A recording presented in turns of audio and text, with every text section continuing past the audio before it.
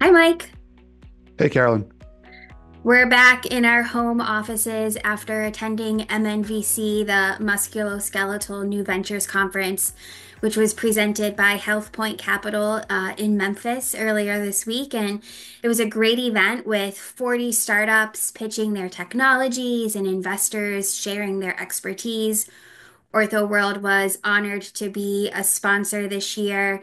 And I think you and I both walked away with just a greater understanding of how companies are really innovating in the orthopedic space, especially there were a lot of spine companies and sports medicine companies who were really talking about decreasing fa uh, failure rates when it comes to spinal fusions and tendon and ligament repairs and so forth. So it was a really great conference. What are maybe some of the takeaways that you brought back? Yeah, uh, two points that I wanted to make, but I wanted to sort of contextualize it in the greater sort of framework of advice that we heard investors offering to those who are who are here.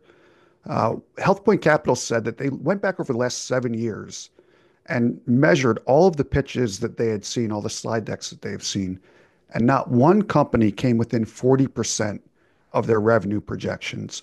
So we often see these enormous multi-billion dollar TAMs in these slide decks, and then a really quick ramp to 50 million, 100 million in revenue. So the advice that investors were giving to folks is really be thoughtful about those projections, but also instead of maybe rushing to commercialization, there's two ways that you can really differentiate your company and make it valuable to the strategics who might eventually purchase your company. Number one is invest in clinical evidence. In orthopedics, at least, highly commoditized, not many products with really, really strong clinical evidence. So if you're able to bring in that type of evidence to a company, to a strategic who might lack the risk tolerance or the patience to develop that body of evidence, that could be a, a really strong, um, really, really strong value creator for you. Also, when you think about where you're going to spend your money, instead of maybe on a really expensive commercial organization, you should first look to high quality regulatory and IP advice. Those are two really trippy, tricky uh, areas that can get a company into sort of a doom loop of back and forth and wasted time and effort. Um, and, and it's one of the ways that if you're smart up front, you can really smooth your path to an exit as a company. Yeah, that's great advice. Um, you know, I would add that the last panel discussion we heard was on today's regulatory environment. And for years, we've been hearing, we've been writing about how the European Union's more restrictive medical device regulation, MDR, would really kill innovation and hinder um, the market opportunity for startups and small companies in Europe. And while MDR is still being implemented, we absolutely have seen orthopedic companies prioritize the US market. And, you know, even at MNVC, the companies that were pitching and that were featured, quite a few of them are were founded and headquartered in Europe and Israel, Australia, and they're really focusing on the US market first. That was, you know, one of the pieces of advice that we heard from multiple regulatory, a notified body and regulatory consultants who were speaking at MNVC. I mean, it, you know, it does make sense, right? The US market, we estimate it to be 67% of global orthopedic sales. So it is a, a significant market. Um, but it'll be interesting to see how that plays out over the next few years as companies really prioritize the US market over maybe Europe or, or another market. For sure. Yeah, and then the other thing that that panel brought up was was biocompatibility. It is just an increasingly important topic or issue that we are seeing globally, but especially with FDA. And you know, we have written about this topic uh, for several years now. There's a lot of confusion just around testing protocols, material data, materials data that needs to be collected, and best practices. So we will link to those articles in the description of this video if you're seeking, you know, greater advice on that topic. And then one of the sort of the mic drop at the end of that panel was that the new, you know, biocompatibility focus will become cybersecurity. That's going to be the greatest focus for regulators moving forward, which makes a lot of sense uh, as more enabling technology companies enter the market. Um, but, you know, something for anybody to consider if they're going to have a connected device.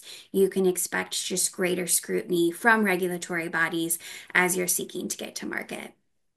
Yep, absolutely. So, why don't we move on to maybe some of the companies that stood out to us? As we mentioned earlier, there were 40 presenting companies, so it is hard to maybe just narrow down to a few of them. But mean, who who who did you find of interest? So, really, for me, the first one was Osteal. Uh, they have a proprietary, really innovative way to treat joint infections. And when when you see the the data on the deadliness of these infections, it's cancer-like mortality rates. I think um, you know, in some cases more deadly than breast cancer. So the other side of that as well is for the patient population these are affecting, once they these patients lose mobility over a significant number of weeks, that really ramps up the mortality rates as well. So it's a massive problem, um, but not many good options right now.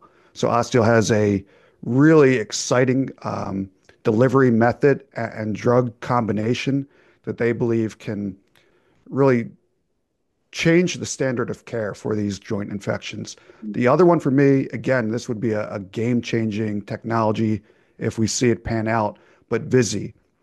Their promise is that they can have optical tracking and navigation that is pinless for robotic surgery.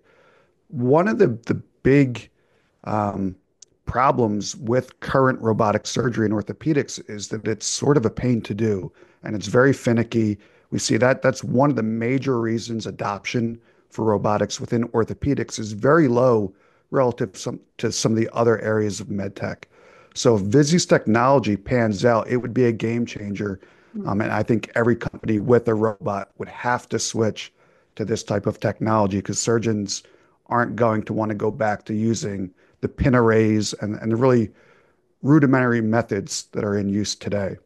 Hmm. And I would just have to say, just from some of the folks who approached VISIE after their presentation, it caught the attention of some of the major players for sure. Wow, so it sort of sounds like it this is the next generation, right? The next generation of It could be, yeah. It was it was an impressive demonstration, and an impressive pitch. Um, I, I hope to see it pan out because I think it would be beneficial to everyone involved if more technology uh, utilization came into orthopedics. awesome. Sort of in the same vein as as infections, I would say to me, Reselute, they they stood out. They received a lot of questions and interest from the audience. They are developing a one-stage solution for orthopedic trauma infections. Their first indication will be tibial fractures, and you know, their their founder and CEO, Cambre Kelly, really said that there's just no consistency or, you know, state of art method for how to prevent infections from happening in in these severe trauma cases. So what they're developing is a nail that has an antibiotic core, and the antibiotics we essentially um, elute over a four week period. It's a combination product as well, so it will require an IDE. It's likely that we won't see that on the market for several years, but you know, certainly, you know, we we know that infections are a huge a huge issue in orthopedics and as you mentioned, can be deadly, really uh then they also lead to revisions and just a problem that a lot of companies are trying to tackle in orthopedics. Yeah. The second company that I was impressed with was Askel Healthcare. They're a Finnish company that is targeting cartilage lesions. So they brought together orthopedic, cell, and materials expertise to develop their Copla technology. So uh, the Copla implant is a very simple sheet made of collagen and PLA that assists with cartilage regeneration. But I think the thing that was really impressive is that this implant allows for load bearing much sooner than than competitors on the market. So it looked like it's absolutely solving, you know, a problem. There's their first indication is um, knee cartilage lesions, but they are just speeding up the recovery so much faster than their competitors. This also is a long-term uh, a long-term product because they are on their on a PMA pathway. So it's likely that it wouldn't see market until 2030. But just the early data looks really, really interesting. And again, they they received a lot of really great questions from from the individuals in the audience. Yeah, almost impossible to pick just two companies right after Yeah. seeing so many presentations, so many companies with technologies that are across the spectrum of everything from stitching all the way up to to trauma robots to, to new ways to do navigation, uh, infection control, uh, all across the spectrum. So really exciting times in, in orthopedics. Absolutely. Any other takeaways? No, I mean just uh, you know, as as as you know, one of my favorite meetings of the year really gives you a great peek into, you know, what strategics are looking for and what the future of orthopedics is. You sort of get the roadmap for the next couple years in orthopedics going to this meeting. Thank you for watching. Don't forget to subscribe to our YouTube channel to stay up to date on more videos. And you can find more coverage from MNVC at orthoworld.com. Thank you for watching. Thanks.